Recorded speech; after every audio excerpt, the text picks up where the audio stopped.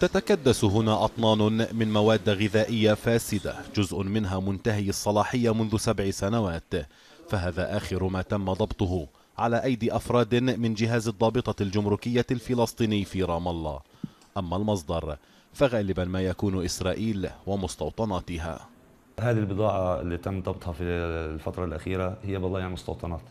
هم يتعاملوا مع أراضينا ومع مناطقنا ومع الشعب الفلسطيني كما كب لنفاياتهم آه، بكبوا كل النفايات اللي هم بالغنى عنها أو قاربت على الانتهاء أو منتهية الصلاحية لبعض التجار الجشعين وبتعاملوا معنا كما كب لنفايات هذه آخر نقطة يمكن أن يصل لها جهاز الضابطة الجمركية الفلسطيني.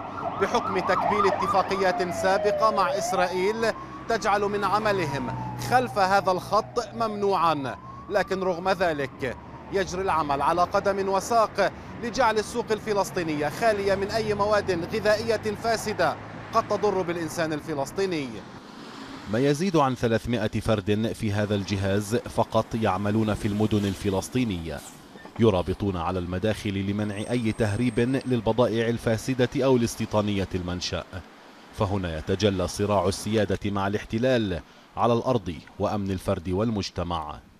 كل الاحترام يعني للضابطة الجمركية طالما الواحد يعني أوراقه سليمة وكل شيء تمام ففيش داعي يعني إنه هي يعني هي دقيقتين يعني لا اخرونا ولا شيء. فإسرائيل التي تسيطر على المعابر والحدود تسيطر أيضا على نوعية البضائع الواردة والمصدرة من الأراضي الفلسطينية وإليها. فالصراع الاقتصادي هنا لا يقل أهمية عن السياسي.